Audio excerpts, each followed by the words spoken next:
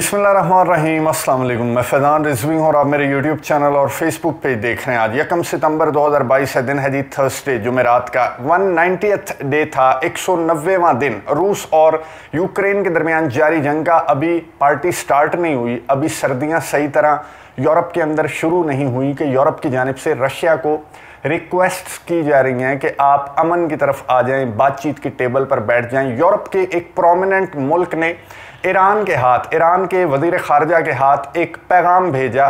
Piece initiative के नाम से ईरान के वज़ीर खारजा ने वो पैगाम मॉस्को वो दौरे पर थे।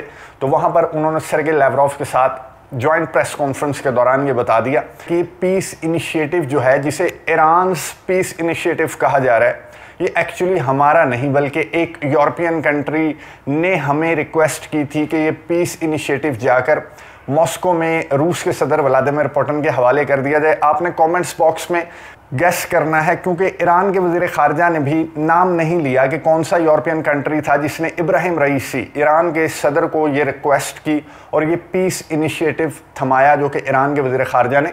सरगे लेवरोव के हवाले किया, मॉस्को के ऑफिशल्स के हवाले किया। आपने कॉमेंट्स बॉक्स में गैस ज़रूर करना मैं आगे जाकर आपको बताता हूँ कि कुछ रिपोर्ट्स में नाम भी सामने आ गया उस मुल्क का और उस मुल्क के लीडर का, जिसने peace initiative Iran peace initiative के नाम से मॉस्को भेजा था, लेकिन ईरान ने बता दिया। उससे कबल मैं आपको बता दूँ कि इंटरनेशनल एटॉमिक एनर्जी एजेंसी के नुमाइंदे वफ्त चौदह रुकनी वफ्त आईएईए के चीफ की सरबराही में ये जपरेजिया पावर प्लांट पहुँच चुका है। यहाँ पर उन्होंने इंस्पेक्शन की, इस वफ्त ने जपरेजिया पावर प्लांट की और यहाँ पर जायजा लेने के बाद फैसला सुना दिया। पहले मैं आपको ये बता दूँ कि इतना आसान नहीं था जपरेजिया पावर प्लांट पहुँचना। जपरेजिया मौजूद था, ये वक्त फिर ये निकलने लगा। तो इन्हें खबर मिली कि वहाँ पर लड़ाई बहुत शदीद किस्म की चल रही है। इधर से भी शेलिंग उधर से भी फायरिंग और दोनों ममालिक रशिया और यूक्रेन एक दूसरे पर इल्ज़ाम आयद कर रहे थे। लेकिन आई ए ई ए के चीफ ने कहा कि हम तो जाएँगे जी, हम तो यहाँ तक पहुँच गए। तो अब हम पावर प्लांट के अंदर जाएँगे इंस्पेक्शन का अमल मुकम्मल करेंगे, उसके बाद अपना फैसला सुनाएँगे। तो जब ये पहुँचने लगे जपरेजिया पावर प्लांट ये वक्त जब पहुँचने लगा तो एन वहाँ पर यूक्रेन की फोर्सेस ने इन्हें रोक लिया कि आगे ना जाएँ। आगे बहुत खतरा है, हम आपको नहीं जाने देंगे, हमें आपकी जान की बहुत ज़्यादा फ़िक्र है। लेकिन आईएईए के चीफ जानते थे कि ये क्यों मुझे रोका जा रहा है पावर प्लांट तक पहुँचने से, क्यों यूक्रेन की फोर्सेस आगे आ गई और तीन घंटे तक इस चौदह रुकनी वक्त को यूक्रेनियन फोर्सेस ने पावर प्लांट जाने से रोका, लेकिन आईएईए के चीफ वहाँ पर पहुँच कर रहे क्योंकि इन्होंने वहाँ पर जाकर जायजा लेना था कि शेलिंग किसकी जानब से की जा रही है। रशिया कहता है यूक्रेन की जानब से, यूक्रेन कहता है रशिया की जानब से पावर प्लांट अंडर कंट्रोल है रशियन फोर्सेस के तो रशिया क्यों कर पावर प्लांट पर हमले करेगा शेलिंग करेगा तो ये वक्त पहुँच गया जपरेसिया पावर प्लांट के अंदर। यहाँ पर इन्होंने जायज़ा लिया और चीफ ने फिर मीडिया से गुफ्तु करते हुए कहा कि हमने सैकड़ों सबूत हमें मिल चुके हैं, जो हम नहीं बताएँगे। फ़िलहाल हम आपको अपना फैसला सुनाते हैं कि हम यहाँ से कहीं नहीं जा रहे मीडिया के ज़रिए, रशिया, यूक्रेन की फोर्सेस को बता दें कि इंटरनेशनल एटॉमिक एनर्जी एजेंसी के नुमाइंदे, चौदह रुकनी वफ जो है उसने इंस्पेक्शन की थी। यहाँ पर जायज़ा लिया जपरेजिया न्यूक्लियर पावर प्लांट का चौदह रुकनी वफ ने। लेकिन आईएईए के चीफ ने यह नहीं बताया कि हम में से कितने मेंबर्स यहाँ पर रुकेंगे, क्या आईएईए के चीफ खुद भी यहाँ पर जपरेजिया पावर प्लांट के अंदर मौजूद रहेंगे। तो उन्होंने कहा कि हमने दिन भी नहीं बताया कि हम कितने दिन यहाँ पर रुकने वाले हैं। उन्होंने कहा, ये हमारे हवाले हो गया जपरेजिया न्यूक्लियर पावर प्लांट और हम इसकी इंस्पेक्शन का अमल आने वाले कई दिन भी जारी रहेगा। यूक्रेन ने बहुत ज़्यादा दुहाइयाँ दी कि बहुत ज़्यादा खतरा है आपकी जान को। आप ऐसा ना करें। रशिया आप पर भी शेलिंग कर देगा जो इस न्यूक्लियर पावर प्लांट पर शेलिंग कर रहा है। लेकिन इंटरनेशनल अटोमिक एनर्जी एजेंसी के चीफ ने कहा कि आप रहने दें। हमारी जान है, हमारी जिम्मेवारी है। और रशिया ने हमें कमिटमेंट दी है कि आपकी जान की हिफाजत हम करेंगे, मॉस्को की फोर्सेस करेंगे तो हम यहाँ पर मौजूद रह कर देखेंगे कि किसकी जानब से शेलिंग की जा रही है फायरिंग की जा रही है। मैं आपको ये बता दूँ कि जपरेजिया न्यूक्लियर पावर प्लांट जो कि यूरोप का सबसे बड़ा न्यूक्लियर पावर प्लांट है, इसके छः न्यूक्लियर रिएक्टर्स हैं, जिनमें से पाँच शट डाउन किए जा चुके हैं ड्यू टू शेलिंग फाइटिंग और जो जंग, किसी कैफियत इस जपरेजिया न्यूक्लियर पावर प्लांट के अतराफ बनी हुई है। उसकी वजह से पाँच न्यूक्लियर रिएक्टर्स बंद किए जा चुके हैं और किसी भी डिज़ास्टर का बहुत ज़्यादा ख़तरा है। इस वजह से आईएईए के नुमाइंदों ने आईएईए के चीफ ने ये फैसला सुनाया और उन्होंने कहा कि हम यहाँ पर मौजूद रहेंगे और दोनों ममालिक को उन्होंने कहा है कि इसे नो नो वॉर जोन जो है, वो डिक्लेयर किया जाए। इसमें तुर्की United Nations IAEA Russia Ukraine पहले ही जपरेजिया न्यूक्लियर पावर प्लांट को लेकर बातचीत कर रहे हैं। जिस तरह से ग्रेन के मामले पर एक डील तक ये ममालिक पहुँचे थे, इसी तरह जपरेजिया न्यूक्लियर पावर प्लांट को war no no war zone declare करने के हवाले से भी बातचीत इन ममालिक के दरमियान चल रही है। लेकिन एक मुल्क ऐसा भी है जो कोशिश कर रहा है कि गंदुम और न्यूक्लियर पावर प्लांट से बढ़कर दोनों ममालिक के सरबराहान को या एटलीस्ट दोनों ममालिक के नुमाइंदों को बातचीत की टेबल पर बिठाया जाए। और वो मुल्क है यूरोप का मुल्क। ईरान के वज़ीर खारजा अमीर अब्दुल्लाहियान, वो पहुँचे मॉस्को। मॉस्को का उन्होंने दौरा किया। वहाँ पर सरगे लेवरोव से इनकी मुलाकात हुई अमीर अब्दुल्लाहियान की और ज्वाइंट प्रेस कॉन्फ्रेंस के दौरान जो ईरान के वज़ीर खारजा हैं, उन्होंने कहा, मैंने पीस इनिशिएटिव थमा दिया है।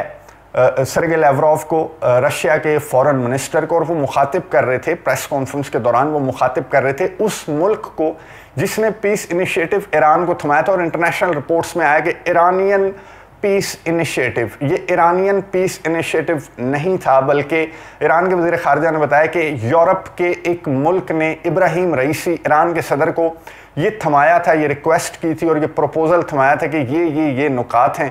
तो ये व्लादिमिर पुटिन को मॉस्को के ऑफिशल्स को, सर के लेवरॉफ को थमा दें कि ये अभी भी एक रास्ता बातचीत का निकलता है। तो प्लीज़ आ जाएँ बातचीत की टेबल पर बैठ जाएँ। कुछ रिपोर्ट्स के ज़रिए नाम सामने आया अमेनल मैक्रॉन, फ्रांस के सदर का, कि जिन्होंने ईरान के सदर इब्राहिम रईसी से ये रिक्वेस्ट की कि अमीर अब्दुल्लायान जब मॉस्को के दौरे पर जाएँ तो ये प्रपोज़ल जो है अपने नाम से उन्हें दे दें। रशिया के ऑफिशियल्स को दे दें, मॉस्को के ऑफिशियल्स को दे दें और कहें कि बातचीत की टेबल पर बैठने के।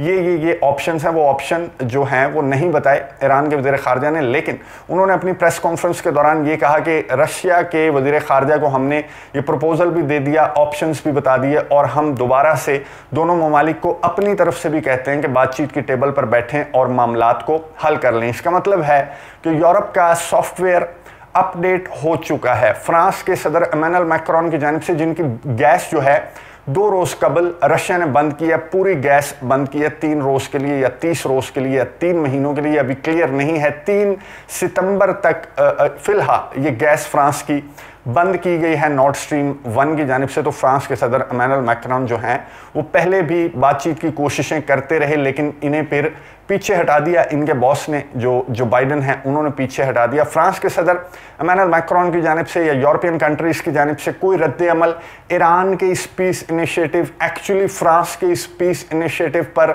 सामने नहीं आया। लेकिन आज के रोज़ यकम सितंबर के रोज़ एमानुअल मैक्रॉन एक मीटिंग के दौरान उन्होंने गुफ्तु करते हुए कहा कि तुर्की ने कोई ठेका लिया हुआ है। नेगोशिएशंस का, हम भी नेगोशिएशंस में किरदार अदा कर सकते हैं। तुर्की को किसने लाइसेंस दिया है, जो कि एक नेटो मुल्क है, अमेरिका का इतिहादी है तो उसे किसने लाइसेंस दे दिया कि वो इस तरह के बातचीत के अमल में फ्रंट लाइन पर हो तो हम भी फ्रंट लाइन पर हो सकते हैं। तो इसका मतलब ये है कि ईरान के वज़ीर खारजा जिस मुल्क का नाम ले रहे थे और रिपोर्ट्स के ज़रिए जो मुल्क सामने आया, जिस मुल्क का सरबराह सामने आया, वो अमेनल मैक्रॉन ही थे, जिन्होंने आज एक मीटिंग के दौरान ये एडमिट कर लिया कि पीस इनिशिएटिव्स के अंदर, बातचीत के अमल के अंदर किरदार अदा करना, क्योंकि उन्हें यूरोपियन कंट्रीज़ की जानब से, अमेरिका की जानब से, और स्पेशली यूक्रेन की जानब से मैनल मैक्रॉन पर बहुत सारा तनकीद की गई कि आप जो है एक हाथ से आप रशिया के हमले की मजम्मत करते हैं। दूसरी जानब से आप बातचीत के अमल में हिस्सा ले रहे हैं। तो यूक्रेन ने बहुत ज़्यादा तनकीद की थी, अमरीका ने बहुत ज़्यादा तनकीद की थी। फेबररी और मार्च में जर्मनी और फ्रांस ही थे जो बातचीत के ज़रिए इस तनाज़े को हल करवाना चाहते थे, लेकिन इन्हें पीछे हटा दिया गया। अभी भी बैकडोर फ्रांस के सदर अमेनल मैक्रॉन कोशिश कर रहे हैं कि सख्त सर्दियाँ आने से पहले जो सो कॉल्ड काउंटर ऑफेंसिव है, उसके रिज़ल्ट सामने आना शुरू हो चुके हैं कि वो नाकाम होता हुआ दिखाई दे रहा है। रशिया की जानब से कहा गया कि कौन सा काउंटर ऑफेंसिव वो नाकाम हो चुका है। तो यूक्रेन के ऑफिशियल्स ने एक बयान जारी किया और ये कहा कि ये जो काउंटर ऑफेंसिव है, ये एक दो रोज़ के अंदर रिजल्ट्स नहीं देगा, बल्कि हमें हफ्तों और महीनों भी लग सकते हैं अपने इलाके वापस लेने में, क्योंकि इन इलाकों को कंट्रोल करने में रशिया को छः महीने लगे तो हमें भी थोड़ा सा वक्त तो दो। तो ये यूक्रेन के ऑफिशियल्स की जानब से स्टेटमेंट सामने आई, लेकिन यूरोप जान चुका है कि उनके पास वक्त नहीं है। सर्दियाँ बिल्कुल सर पर आ चुकी हैं, सख्त सर्दियाँ मैंने आपको बताया था कि नवंबर, दिसंबर, जनवरी और फेबररी में सख्त सर्दियाँ यूरोप के अंदर होंगी, और उससे पहले एमानल मैक्रॉन और हंगरी जैसे ममालिक ये चाहते हैं कि बातचीत के ज़रिए तनाज़ा जो है वो हल हो जाए। और ये बात जो यूक्रेन के सबक सदर हैं, जो कि 2005 से 2010 तक यूक्रेन के सदर रहे, उन्होंने भी एक इंटरव्यू के दौरान भांडा फोड़ दिया। उन्होंने ये कहा कि मार्च के महीने में बहुत सारे यूरोपियन कंट्रीज़, नेटो ममालिक आए थे यूक्रेन के दारुल हकूमत कीव और उन्होंने यूक्रेन के सदर व्लादिमिर जेलेंस्की से कहा था कि बातचीत करो, रौला मुकाओ। और आपको याद होगा कि बेलारूस के अंदर भी बहुत सारी नशस्तें हुई और फिर तुर्की की सालसी में भी बहुत सारी नशस्तें हुई। दोनों ममालिक के ऑफिशियल्स की वो नशिस्तें इसलिए हुई थी according to Ukraine's former president उन्होंने कहा कि हमें रिक्वेस्ट कर रहे थे यूरोपियन कंट्रीज़ जिन्होंने इनिशिएट किया था ये तनाज़ा, वो रिक्वेस्ट कर रहे थे। मार्च के महीने में भी उनका सॉफ्टवेयर अपडेट हो गया था, जब रशिया कीव और खारकीव तक पहुँच गया था तो उन्होंने यूक्रेन के सदर व्लादिमिर सलेंस्की को कहा था कि बातचीत करो, रौला मुकाओ। और यहाँ तक के यूक्रेन के सबक सदर ने कहा कि यहाँ तक के कुछ यूरोपियन कंट्रीज़ ने यूक्रेन के सदर व्लादिमिर सलेंस्की को ये भी कहा कि अपनी जो टेरिटरीज रशिया कंट्रोल कर चुका है, उन्हें जाने दो। और लड़ाई लड़ाई माफ़ करवाओ, क्योंकि तनाज़ा जो है वो बहुत ज़्यादा आगे की जाने बढ़ता हुआ जा रहा है। यानी कि मार्च में इन्हें रियलाइज़ हो गया था यूरोपियन कंट्रीज़ को कि आगे सर्दियाँ हमारी बहुत सख्त गुजरने वाली हैं। तो यूक्रेन के फॉर्मर प्रेसिडेंट ने भी बता दिया कि यूरोपियन कंट्रीज़ नेटो ममालिक जो हैं, जिन्होंने इस जंग को इनिशिएट किया था फ्यूल ऐड किया था, उनका सॉफ्टवेयर रशिया का हमला होते ही अपडेट हो चुका था और वो इस जंग को ख़त्म करना चाहते थे। मार्च के महीने में ही जिन्होंने इस जंग को इनिशिएट किया था, स्टार्ट करवाया था, ना सिर्फ़ फेबररी 2022 में, बल्कि मैं आपको बता दूँ कि 2014 के बाद से यूरोपियन कंट्रीज़ नेटो ममालिक प्लान कर रहे थे यूक्रेन के साथ मिलकर के, क्राइमिया को कैसे वापस लेना है डॉनबास के अंदर ये जो सेपरेटिस्ट मूवमेंट्स हैं, इन्हें कैसे ख़त्म करना है? रशिया ने बात बारे हाथ दोहराई है कि हमने इस जंग का, इस ऑपरेशन का आगाज़ इसलिए किया क्योंकि अगर हम ये ऑपरेशन कंडक्ट ना करते तो यूक्रेन हम पर हमला कर देता, नेटो के साथ मिलकर यूक्रेन बहुत ज़्यादा तैयारी कर चुका था, जो इस जंग के दौरान भी हमने देखी कि यूक्रेन की तैयारी तो थी, नेटो और यूक्रेन ने तैयारी तो कर रखी थी रशिया का मुकाबला करने की, लेकिन ये बात समझ में नहीं आ रही थी रशिया की व्लादिमिर पुटिन की सरगे लेवरोफ की, कि यूक्रेन क्यों तैयारी कर रहा था आप पे हमला करने की। मैं आपको एक क्लिप सुनवाता हूँ। स्टोल्टनबर्ग, नेटो के चीफ ने भूल, भूले से ये बयान दे दिया, या फिर वो भूल भी जाते हैं, उनकी अक्सर स्टेटमेंट्स ऐसी होती हैं जिनकी जस्टिफिकेशन बाद में उन्हीं की जानब से, या फिर नेटो के ऑफिशियल्स की जानब से, नेटो कंट्रीज़ की जानब से सामने आ रही होती है। क्लिप सुनिए स्टोल्टनबर्ग का, उसके बाद बात करते हैं। to step up support for Ukraine. Uh, as you know, NATO allies provide unprecedented level of military support to Ukraine.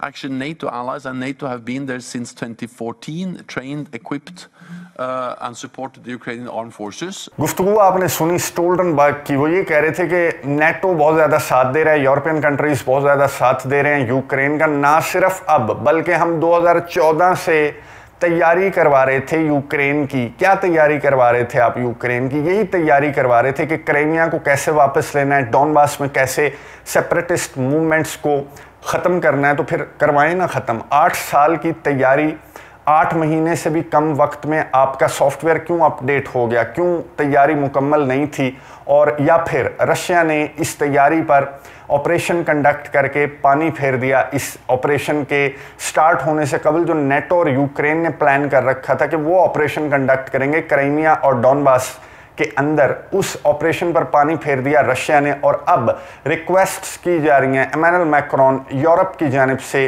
Different channels के थ्रू के बातचीत की टेबल पर बैठ जाएँ। क्या रशिया एमानुअल मैक्रॉन की बात सुनते हुए बातचीत की टेबल पर बैठेगा? कौन से नुकात? एमानुअल मैक्रॉन ने पेश किए हैं, जो कि जिन पर दोनों ममालिक वो समझते हैं कि राज़ी होकर बातचीत की टेबल पर बैठ जाएँगे। फ़िलहाल यूक्रेन के सदर व्लादिमिर जेलेंस्की का कोई मूड नहीं नज़र आता। वो पोरस के हाथी बन चुके हैं, जिनकी सूंड इन्हीं ममालिक ने काटी थी। अब वो पागल हुए फिर रहे हैं कि जब तक मैं अपनी टेरिटरीज वापस नहीं लूँगा, मैं बातचीत की टेबल पर नहीं बैठूँगा। नज़र रखेंगे आपको, अपडेट्स देता रहूँगा। अगली वीडियो तक के लिए इजाज़त दीजिए। अल्लाह हाफिज़।